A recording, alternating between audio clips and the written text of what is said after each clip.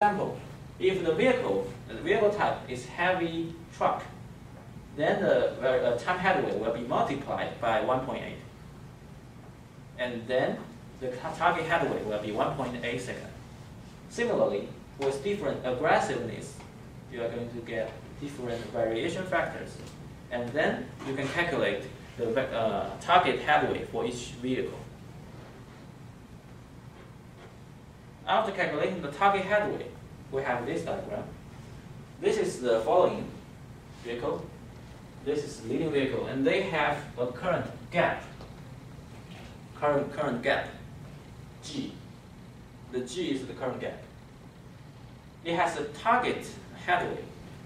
The target headway is in second, so if we multiply it by uh, their speed difference, we get a target separation meter. This is target separation.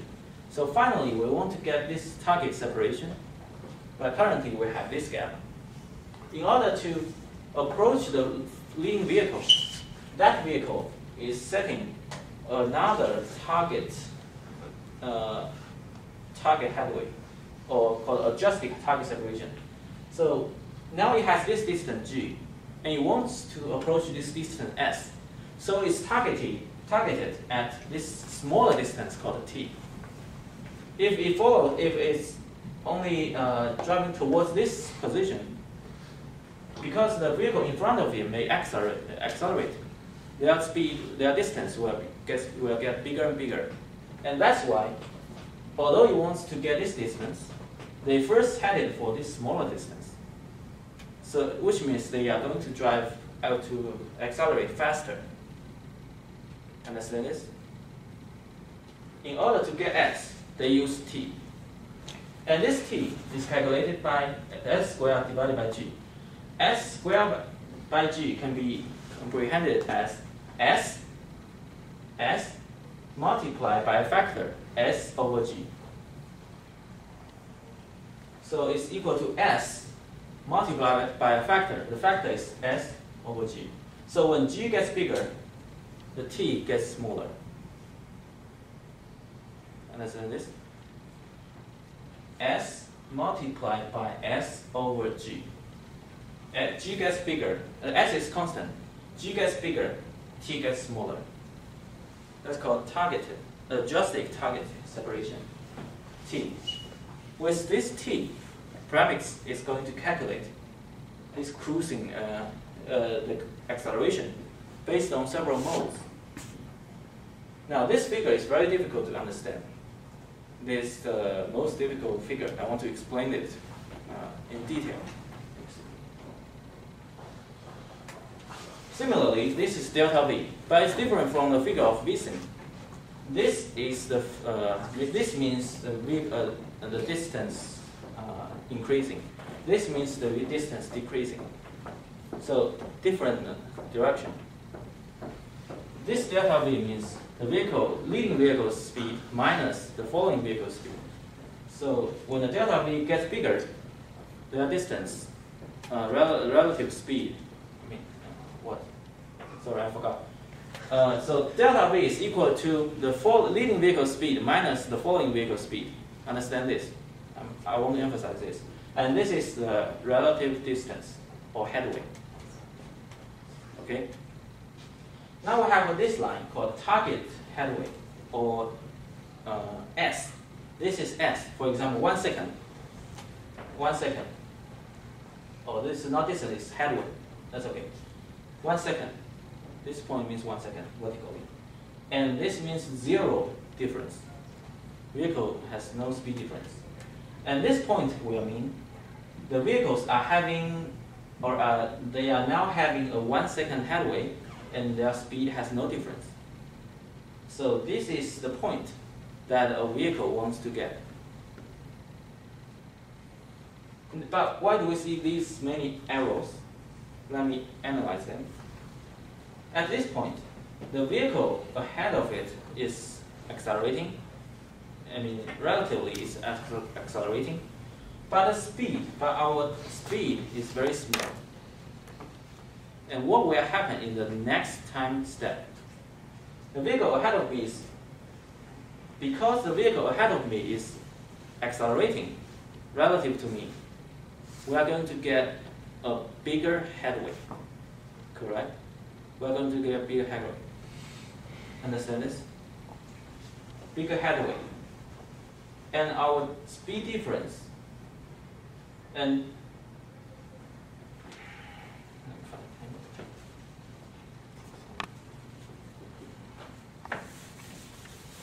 let me use another easier way to demonstrate it. So this is the following uh, leading vehicle, and this is the desired time headway. Now it's here. The following vehicle is here. And we know this vehicle is traveling faster than the current vehicle. As a, as a result, in the next time step, their spacing will be bigger. And in this case, do you want to accelerate or decelerate? I mean, do you want to let the delta V go bigger or smaller? Because you are already in a smaller, very small distance, so you would like to let this car accelerate. And that's why you want, uh, in the next time step, the delta V is bigger. So the vehicle is traveling relatively faster and faster so you can reach a safety distance. And that's the explanation of this point. But in this case, if the relative speed is already big enough, then you probably want to make it smaller. So if this vehicle is very fast, then in the next step, uh, step you may want to uh, accelerate it a little bit, so your speed difference gets smaller. Understand this region? Now let's consider another case here, any point here. This means the vehicle here and our vehicle is beyond this target vehicle, uh, target headway, and the delta V is big. Delta V is positive. As a result, this vehicle will try to accelerate to reduce the delta V but in the next time step, it's still going upward. The headway is still increasing. Correct? In the next time step, their, their gap will be bigger, but their speed difference will be smaller. And that's why the arrows are pointing in that direction. The speed, uh, the headway gets bigger, speed difference gets smaller.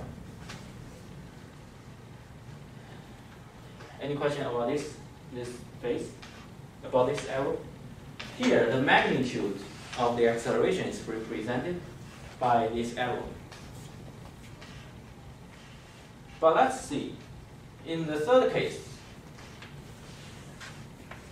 the leading vehicle, the following vehicle, and the following vehicle is having a minus delta V, which means its speed is already bigger than the vehicle ahead of it then it probably wants to reduce the delta V.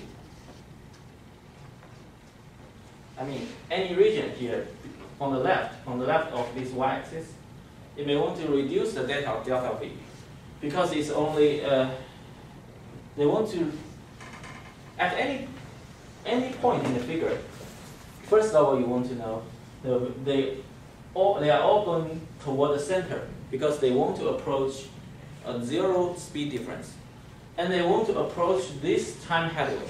So that's why they are oscillating. And their trace, the trace on this diagram can be represented by these swirling uh, arrows. So do you understand this third case? Uh, at any, for any arrow, for any point in the C, the region C, they want to decrease the speed difference and they want to decrease the headway difference also.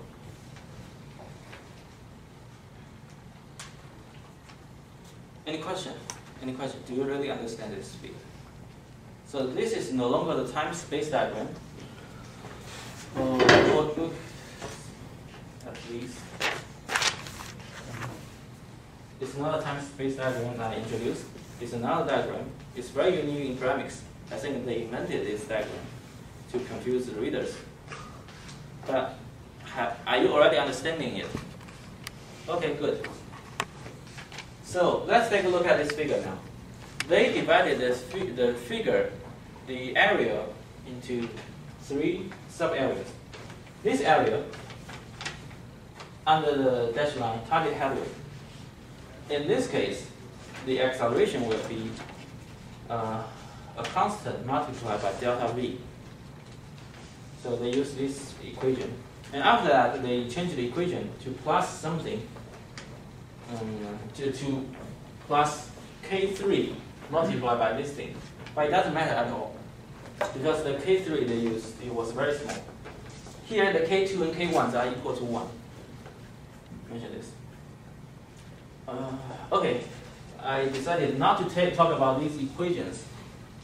But I want to talk about three areas. This first area, this is another area, and this is the third area. The third area is restrained by the maximum deceleration. So there's no point here because it cannot exceed the maximum deceleration. There are two cases called stopping or accelerating. Uh, I try to understand them, but according to the, the, the manual they have, the reports they have, I couldn't fully understand them. I can only tell you what I, what I understand. This curve, K3, means the stopping curve. When the vehicle is braking, when the vehicle ahead of me is braking, I will also brake. And that made our speed difference constant. Correct? The vehicle ahead of me is braking, I'm also braking. We are both using the maximum deceleration. So our relative speed difference is constant. Another case, the vehicle, both of vehicles are accelerating using the maximum acceleration.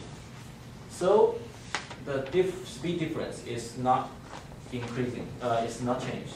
So this third, this arrow means uh, acceleration, full acceleration. The arrow D means stop. But I just don't know why they put these two uh, terms here, activation distance, stopping distance, because they didn't introduce that in any report. So I couldn't understand that. Sorry for that. In order to change the parameters, you go to Paramics, core models, you will see you and